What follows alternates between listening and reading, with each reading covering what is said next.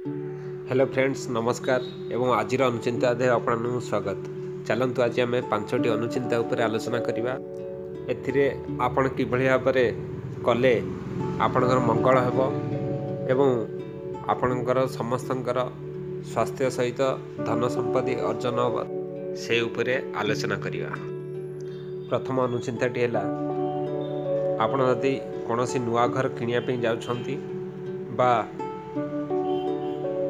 ନିଜ ଘରେ ତିଆରି କରୁଛନ୍ତି ତାହେଲେ ଟଏଲେଟ୍ କିମ୍ବା କିଚେନ୍ ଉତ୍ତର ପୂର୍ବ ଦିଗରେ ଥିଲେ ଆପଣ କିଣନ୍ତୁ ନାହିଁ ବା ତିଆରି କରନ୍ତୁ ନାହିଁ। କାରଣ ଉତ୍ତର ପୂର୍ବ ଦିଗ କେବଳ ଠାକୁର ଘର ବା ପୂଜା ଘରର ନିୟମ ଏହା ଦ୍ୱାରା ଆପଣଙ୍କ ବାସ୍ତୁ ଦୋଷ ରହିଥାଏ।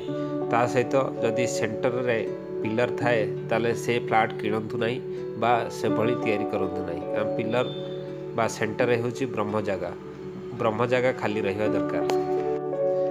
ଦ୍ୱିତୀୟ ଅନୁଚିନ୍ତାଟି ହେଲା ପ୍ରତି ଶୁକ୍ରବାର ରାତିରେ ଆପଣ କିଛି ମିଠା ଖାଦ୍ୟ ଘରେ ତିଆରି କରନ୍ତୁ ଏବଂ ତାପରେ ସମସ୍ତ ସଦସ୍ୟ ତାହାକୁ ଖାଆନ୍ତୁ। ଏହା କରିବା ଦ୍ୱାରା ଆପଣଙ୍କର ମଙ୍ଗଳ ହୋଇଥାଏ।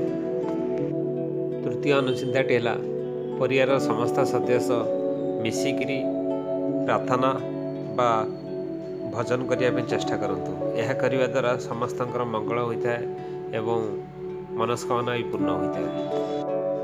ଚତୁର୍ଥ ଅନୁଚିନ୍ତାଟି ହେଲା ମନି ପର୍ସ ଯଦି ଛିଣ୍ଡି ଯାଇଛି ତାହେଲେ ତାକୁ ୟୁଜ୍ କରନ୍ତୁ ନାହିଁ ଫିଙ୍ଗି ଦିଅନ୍ତୁ ଏବଂ ନୂଆ ୟୁଜ୍ କରନ୍ତୁ।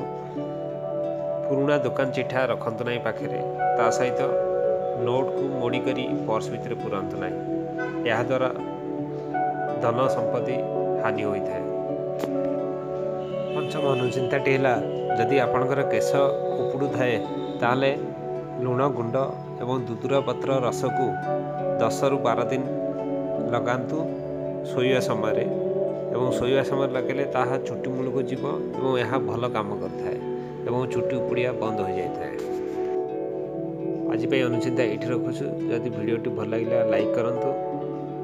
ଆମ ଚ୍ୟାନେଲକୁ ସବସ୍କ୍ରାଇବ୍ କରିବା ପାଇଁ ଭୁଲିବେ ନାହିଁ। ତା ସହିତ ତଳେ ଯାଇଥିବା ନୋଟିଫିକେସନ୍ ବେଲ୍କୁ ହିଟ୍ କଲେ ଆପଣ ଲେଟେଷ୍ଟ ଅପଲୋଡ଼ ବିଷୟରେ ଜାଣିପାରିବେ। ଆପଣ ଦିନଟି ଶୁଭ ଏବଂ ସୁଖମୟ ହେଉ। Bye friends